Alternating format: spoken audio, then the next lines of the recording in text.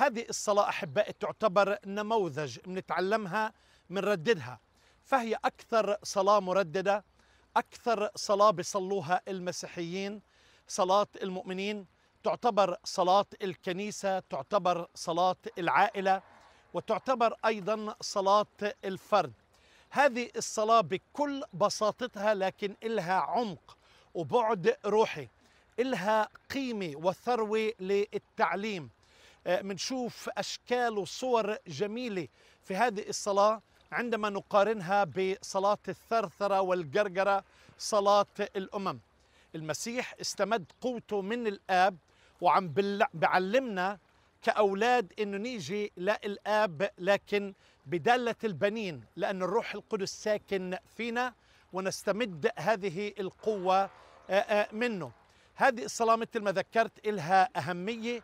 وإلها معنى حقيقي أكثر من مجرد ترديد كلمات منرددها أبانا الذي في السماوات ليتقدس اسمك ليأتي ملكوتك لتكن مشيئتك كما في السماء كذلك على الأرض.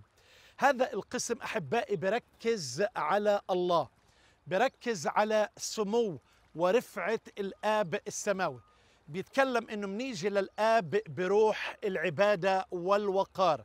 بنيجي كأبناء بنيجي بالإيمان. وخلي بالك هاي الصلاة بصيغة الجمع وليس بصيغة المفرد. فأبانا الذي في السماوات هو موجود وحاضر في كل مكان وهو مالئ الأرض والسماوات أيضا. ليتقدس اسمك بيعلن عن قداسة الله. عن طبيعة الله عن شخصية الله تقديس اسم الله المرتفع فوق كل خلائقه. واليوم أحبائي فعلا نفتقر لهذا الموضوع من عامل الله كأنه زر كمبيوتر لكن ننسى انه الله قدوس لازم نقدس اسمه المرتفع. بيتكلم عن العظمه والجلال عن عدم محدودية هذا الآب. ثم يقول ليأتي ملكوتك يملك على قلوبنا إنه يملك بالنعمة والمحبة إنه يملك بالبر أيضا.